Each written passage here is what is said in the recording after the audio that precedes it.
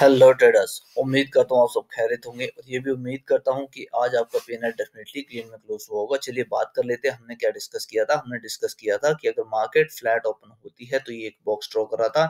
इसके ऊपर तो कॉल इसके नीचे तो पुट लेंगे, ठीक है? सो मार्केट ने आज हमें पुट की ओर बिठाया और उसके बाद एक अच्छा टारगेट भी दिया।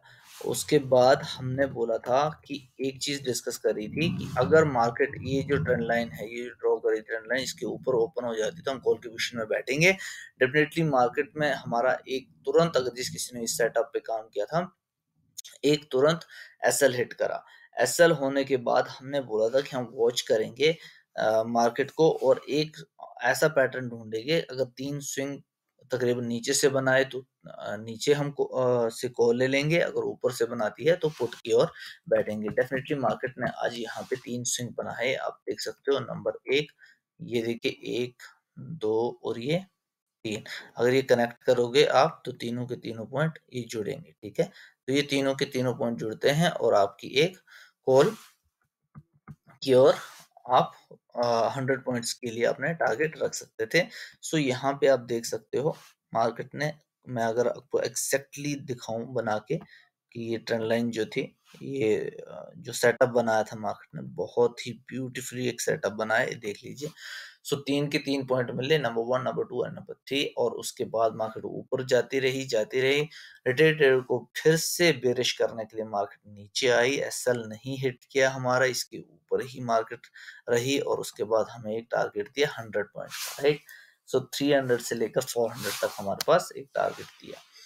सो लगभग लगभग साठ पॉइंट आज प्लस रहे हैं, सो अब चलिए बात कर लेते हैं हम कि कल किस तरीके से हम ट्रेड कर सकते हैं सो दैट हमारा पीएनएल ग्रीन में क्लोज हो। सबसे पहले मैं आपसे ड्रॉ करवाना चाहूँगा एक चैनल चैनल यानी कि ये एक हाई पॉइंट मार्केट ने जो क्रिएट किया हुआ है, ठीक है?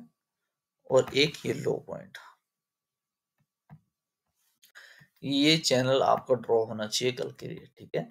सो मार्केट क्या करेगी कल? अगर मार्केट को नीचे जाना है तो पुट के लिए हम सिर्फ़ और सिर्फ़ इसके बाद ही बैठेंगे और कॉल के लिए इसके ऊपर ही सोचेंगे, ठीक है? इसके ऊपर अगर ओपन हो जाती है तब भी हम कॉल के लिए सोच सकते हैं, इसके नीचे अगर ओपन हो जाती है तब भी हम पुट के लिए सोच सकते हैं। अलबत्ता फ़र्स्ट फाइव मिनट के कैंडल का हाई ब्रेक नहीं होना चाहिए, टेन थर्टी से पहले, ठीक है? तो अगर मार्केट मान लीजिए यहाँ कहीं हमें मिल जाती है, हमारा पहला जो रुझान होना चाहिए, पुट की ओर होना चाहिए, ठीक है? और अगर यहाँ कहीं आपको मिल जाती है तो आपका पहला रुझान कॉल की ओर होना चाहिए। अगर बीच में कहीं भी मिल जाती है तो आप सिर्फ़ वेट करेंगे, यहाँ आने तक का या यहाँ आने तक का, ठीक है? अगर मार्केट इसके इसके ऊपर क्लोजिंग नहीं देती है, हम कॉल की पोजिशन बनाएँगे। इसके ऊपर नहीं देती है तो हम पुट की ओर पोजिशन बनाएँगे। दे दिया, डेफिनेटली हम क्या करेंगे? अपनी जो है, जो पुट की पोजिशन बनाई होगी, उसको कॉल में कन्वर्ट कर देंगे और इसके नीचे अगर क्लोजिंग दे दी फाइव मिनट्स की कैंडल तो डेफिनेटली हम उसी कैंडल को ऐसा रख के पुट की पोजिशन बनाएँगे। ये हमारे एनालिसिस रहेंगे सिंपल एंड सोबर कल के लिए। सो आई होप आप एंजॉय कर रहे होंगे एनालिसिस मार्केट की साइकोलॉजी को समझ रहे होंगे, आपको अच्छा लग रहा होगा। Thank you thank you so much अगर अच्छे लग रहे हैं एनालिसिस तो आप शेयर कीजिए इन वीडियोस को सो दैट आपका पी एन एल हो। Thank you